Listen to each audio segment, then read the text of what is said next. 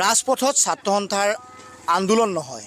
আজি শ্ৰমদান কাৰ্যসূচী ৰূপায়ণ কৰিছে সদৌ ধেমাজি জিলা ছাত্ৰ সন্থাই আজি ইয়াত কোনো ধৰণৰ শ্লোগান নাই। তাৰ পৰিৱৰ্তে তেওঁলোকে শ্ৰমদান কৰিছে ধেমাজিৰ পোন্ধৰ নং ৰাষ্ট্ৰীয় ঘাইপথৰ পৰা কোলাজানৰ বগীবিলৰ পৰা আচলতে চুকাফা সংযোগী যি যি পথ এই পথত তেওঁলোকে আজি শ্ৰমদান কাৰ্যসূচী ৰূপায়ণ কৰিবলৈ আহিছে। আৰু ঠায়ে ঠায়ে আমি দেখিছোঁ যে কোলাজান তিনিআলিৰ পৰা ধেমাজি জিলা ছাত্ৰ সন্থাৰ প্ৰায় শতাধিক কৰ্মীয়ে ইতিমধ্যে ইয়াতে তেওঁলোকে আজি আচলতে এক প্ৰকাৰ প্ৰতিবাদ সাব্যস্ত কৰিছে শ্ৰমদান কাৰ্যসূচীৰ জৰিয়তে। কাৰণ এটা কথা উল্লেখ কৰিব লাগিব যে এই ভগ্নপ্ৰায় পথছোৱাৰ বাতৰি আমি সম্প্ৰচাৰ কৰি আহিছিলোঁ আহ, ধাৰাবাহিকভাৱে। কাৰণ এই ৰাষ্ট্ৰীয় ঘাইপথৰ এনে দুৰৱস্থাৰ পিছত এতিয়া ৰাইজে তাহি মধুসূদন কাঢ়িবলগীয়া হৈছে। প্ৰতি প্ৰতি মুহূৰ্তত আচলতে এই বিভিন্ন বিভিন্ন স্থানত দুৰ্ঘটনা সংঘটিত হৈছে সৰু বৰ আৰু এটা কথা উল্লেখ কৰিব লাগিব যে এই পথটোৰ বা যি দুৰৱস্থা এই দুৰৱস্থা সকলোৱে জ্ঞাত। কাৰণ এই পথেৰে যি লোকে অহা যোৱা কৰে সেই সকলোৱে অনুময়। কাৰণ এই পথেৰে দুচকীয়া বা চাৰিচকীয়া বাহন লৈ অহা প্ৰতিজন ব্যক্তিয়ে আচলতে এজাক বৰষুণ দিলেই বিভিন্ন সমস্যাৰ সন্মুখীন হয় আৰু কাৰণ বিভিন্ন স্থানত দুৰ্ঘটনা সংঘটিত হয়। তাৰ পিছতো কিন্তু ৰাষ্ট্ৰীয় ঘাইপথ প্ৰাধিকৰণে এই পথছোৱা নিৰ্মাণৰ কোনো পদক্ষেপ গ্ৰহণ নকৰিলে। যাৰ প্ৰতিবাদত আজি তেওঁলোকে এক প্ৰকাৰ শ্ৰমদান কাৰ্যসূচীৰ জৰিয়তে নিজাববীয়াকৈ তেওঁলোকে ইয়াতে কাৰ্যসূচী ৰূপায়ণ কৰিছে।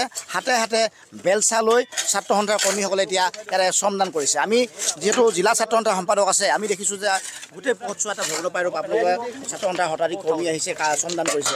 কি ক'ব ইয়াত ইয়াত? চাওক আমি ধেমাজি জিলা ছাত্ৰ সন্থাই আজি কোলাজানৰ পৰা বগীবিললৈকে যি যি সংযোগী পথ আছে এই সংযোগী পথটো আমি আজি শ্ৰমদান কাৰ্যসূচী আমি ৰূপায়ণ কৰিছোঁ আচলতে আটাইতকৈ দুৰ্ভাগ্যজনক কথা এইখন ধেমাজিৰ পৰা এগৰাকী মন্ত্ৰী আছে এগৰাকী বিধায়ক আছে সাংসদ আছে তাৰ পাছতো কিন্তু আজিলৈকে ৰাস্তাটো তেওঁলোকে অৱস্থা তেওঁলোকে দেখা নাই। ইয়াৰ পৰা ইয়াৰ কাৰণ ধেমাজি লখিমপুৰৰ পৰা বিভিন্ন ছাত্ৰ ছাত্ৰীসকলে শিক্ষাৰ কাৰণে ডিব্ৰুগড় ডিব্ৰুগড়লৈ যাবলগীয়া হয় বা স্বাস্থ্যৰ কাৰণে সকলো ক্ষেত্ৰতে ডিব্ৰুগড় ডিব্ৰুগড়ৰ ওপৰত নিৰ্ভৰ কৰি থাকে। গতিকে ডিব্ৰুগড় ডিব্ৰুগড় যাবৰ কাৰণে আজি ৰাস্তাৰ যি অৱস্থা তাৰ কাৰণে অতি দুৰ্ভাগ্যজনক। আৰু ৰোগী যদি কেনেবাকৈ যদি এই ৰাস্তাইদি যোৱা যায় তেতিয়াহ'লে কিন্তু মৃত্যুবৰণ কৰিবলগীয়া হয়। গতিকে আমি এটা কথা স্পষ্ট কৰিছোঁ কমিশ্যনধাৰী যিগৰাকী বিধায়ক আছে নাম নোকোৱাকৈ চাগে কিছুমানে গম পাইছে। সেই কমিশ্যনধাৰী বি- বিধায়কগৰাকীয়ে আজিলৈকে কিন্তু এই অঞ্চলৰ বিধায়ক এগৰাকী হৈও কিন্তু এই ৰাস্তাৰ ওপৰত তেওঁলোকে নজৰ দিয়া নাই। আজি পথৰ ওপৰত তেওঁলোকে নজৰ দিয়া নাই। গতিকে আমি স্পষ্টভাৱে ক'ব বিচাৰিছোঁ যিগৰাকী ফুলজাৰি মাৰি থকা অসমৰ শিক্ষা অসমৰ মুখ্যমন্ত্ৰী মুখ্যমন্ত্ৰীগৰাকীৰ ওচৰত গোটেই দায়িত্ব থকাৰ পাছতো যে আজি জৰাজন্য অৱস্থা এইটো আটাইতকৈ দুৰ্ভাগ্যজনক কথা।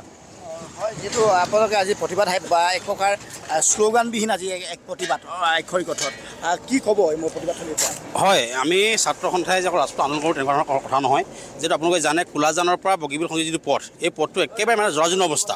এই জৰাজীৰ্ণ অৱস্থা আমি অজ- অতিকৈ লজ্জানুভৱ কৰিছোঁ আমাৰ যি স্থানীয় বিধায়কে হওক আমাৰ জিলাৰ পৰা এগৰাকী মন্ত্ৰী আছে সাংসদ আছে তেওঁলোকে কিন্তু অকল নিজৰ ব্যক্তিগত লাভালাভৰ কাৰণে তেওঁলোকে কাম কাজ নকৰে যেতিয়া এজন বিধায়কে ব্যক্তিগত লাভালাভৰ কাৰণে কাম কাজ কৰিব যেতিয়া এজন বিধায়কে কেৱল মাত্ৰ ব্যৱসায় বাণিজ্য কৰি নিজৰ আত্মালিকা সজাত ব্যস্ত থাকিব তেতিয়া জনসাধাৰণৰ কিন্তু অৱস্থা বেয়া হ'ব জনসাধাৰণ বিপদ পৰে। তাকে আমি সকীয়াই দিছোঁ এই ৰাস্তাটোতো যে এটা লজ্জানুভৱ অসমৰ মুখ্যমন্ত্ৰীগৰাকীৰ হাতত থকা বিভাগটোত আমি আমি আজি নিজে ছাত্ৰ সন্থা কৰ্মীসকলে আমি কাম কৰিব লগা হৈছে। আমি লজ্জানুভৱ কৰিছোঁ কথাই যদি কথাই প্ৰতি ফুলজাৰি মৰা কথাই প্ৰতি মই ভাৱ ভাৱ দেখুওৱা এই মুখ্যমন্ত্ৰীগৰাকীৰ কিন্তু আজি নিমাত। তাৰ কাৰণে আমি কৈছোঁ যে আমি ধেমাজি জিলা ছাত্ৰ সন্থাই পুনৰবাৰ আমি দাবী জনাইছোঁ। অতি শীঘ্ৰে ৰাস্তাটো আপোনাৰ নিৰ্মাণ নিৰ্মাণ কৰিব লাগে। যিহেতু ধেমাজি আৰু লখিমপুৰৰ পৰা ধৰি বিভিন্ন ধৰণৰ ৰাইজ আৰু ছাত্ৰ ছাত্ৰী আমি ডিব্ৰুগড়লৈ অহা যোৱা কৰে সকলো অহা যোৱা কৰে বিভিন্ন ধৰণৰ ৰোগী যায় চিকিৎসাৰ কাৰণে। তাৰ পাছতো যে ৰাস্তাটো জৰাজীৰ্ণ এই ৰাস্তাটো যে গ'লে যে বিভিন্ন ধৰণৰ দুৰ্ঘটনা সংঘটিত নহ'ব তাৰ কিন্তু কোনো মানে নাই। এয়া দেখিছে ধেমাজি জিলা ছাত্ৰ সন্থাই আজি শ্ৰমদানৰ কাৰ্যসূচী ৰূপায়ণ কৰিছে আৰু তেওঁলোকে ইয়াতে ট্ৰেক্টৰ জে চি বি লৈ আহিছে।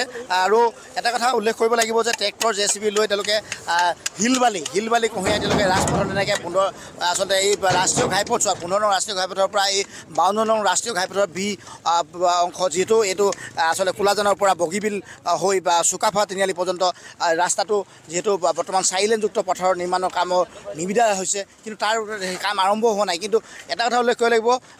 যোৱা তিনিটা চাৰিটা বছৰে কিন্তু বিভাগীয় কৰ্তৃপক্ষই কিন্তু এই পথৰ মেৰামতিৰ বাবে কোনো ধৰণৰ ব্যৱস্থা গ্ৰহণ নকৰিলে ছাত্ৰ সন্থাৰ কেন্দ্ৰীয় সমিতিৰ সহকাৰী সম্পাদক আছে। আজি যে আপুনি যিটো একে একে আপোনালোকে শ্ৰমদানৰ জৰিয়তে যেনে এটা প্ৰতিবাদ সাব্যস্ত কৰিছে কি ক'ব? চাওক এইটো কোলাজানৰ পৰা বগীবিল সংযোগী যিটো ৰাস্তা এই ৰাস্তাটো দুহেজাৰ ওঠৰ চনত বগীবিল দলং ইয়াত উন্মোচন হৈছিলে। বগীবিল দলং উন্মোচন হোৱাৰ আগতে ৰাস্তাটো নিৰ্মাণ কৰা হৈছিলে কিন্তু আজি এই বগীবিল দলং উন্মোচন হোৱা আজি ছটা বছৰ হৈ গ'ল। এই ছটা বছৰত কিন্তু এই যিটো সংযোগী ৰাস্তা আছিলে এই ৰাস্তাটো পুনৰ নিৰ্মাণ নহ'ল। ইয়াত বাৰে বাৰে আমি ইয়াত দাবী উত্থাপন কৰি আহিছিলোঁ। ৰাস্তাটো যে পুনৰ নিৰ্মাণ কৰিব লাগে ৰাস্তাটো বিধ্বস্ত হৈ গৈছিলে। ইয়াৰ আগতেও আমি দুহেজাৰ বাইছ চনত আমি ইয়াত মানৱ শৃংখল কাৰ্যসূচী ৰূপায়ণ কৰিছিলোঁ। তাৰপিছত তাৰপিছতে তেওঁলোকে নিয়ম মাফিক ইয়াত কেৱল অকণমান মেৰামতি কৰা পৰিলক্ষিত হ'ল। কিন্তু তাৰপিছতে যেনেকৈ গোটেই ৰাস্তাটো পুনৰবাৰ মেৰামতি কৰিব লাগিছিল গোটেই সম্পূৰ্ণভাৱে মেৰামতি কৰিব লাগিছিল সম্পূৰ্ণভাৱে তেওঁলোকে বনাব লাগিছিল সেই কাম আজিলৈকে নকৰিলে।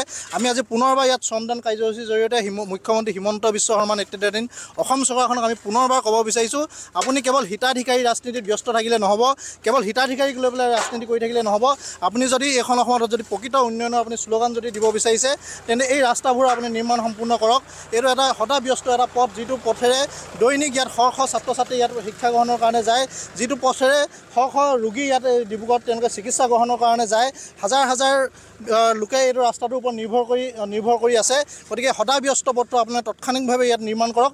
কেৱল হিতাধিকাৰীৰ লগত ব্যস্ত থাকি হিতাধিকাৰীৰ জৰিয়তে গাদী সুৰক্ষিত কৰি থকা ৰাজনীতি যদি কৰি থাকে অনাগত দিনত কিন্তু ৰাইজে ইয়াৰ প্ৰত্যুত্তৰ দিব। ইতিমধ্যে এইবাৰ যিটো লোকসভা নিৰ্বাচন অনুষ্ঠিত হৈছিলে এই লোকসভা নিৰ্বাচনত বিজেপি দলৰ আপোনালোকৰ শাসক দলৰ যিগৰাকী প্ৰাৰ্থী আছিল সেই প্ৰাৰ্থীগৰাকী কোনোমতে ইয়াত জয়লাভ কৰা পৰিলক্ষিত হৈছে। তেওঁলোকে যি দম্ভালি মাৰি আছিল যেনেধৰণে ইয়াত জিকিম বুলি কৈছিলে তাৰ কিন্তু উচিত প্ৰত্যুত্তৰ ৰাইজে দিছে। ৰাইজে এইকাৰণে সেই তাৰ প্ৰত্যুত্তৰ দিছে কাৰণ ইয়াত যেনেধৰণে এই অঞ্চলটোৰ উন্নয়ন যেনেধৰণে হ'ব লাগিছিলে সেই উন্নয়ন হোৱা নাই। কেৱল মন্ত্ৰী বিধায়ক সাংসদসকলৰ পকেটৰ উন্নয়ন হ'লে নহ'ব তেওঁলোকৰ সাংগু পাংগুসকলৰ ব্যক্তিগত উন্নয়ন হ'লে নহ'ব। অঞ্চলটোৰ সৰ্বাংগীন উন্নয়নৰ সাধনে আপোনালোকে কাম কাজ কৰক। কিন্তু নহ'লে অনাগত দিনত কিন্তু এনেধৰণে ধাৰাবাহিকভাৱে ছাত্ৰ সন্থাৰ প্ৰতিবাদী কাৰ্যসূচী আৰু ৰাইজৰ প্ৰতিবাদী কাৰ্যসূচীৰ সন্মুখীন হ'বলৈ আপোনালোকে সাজু হৈ থাকক।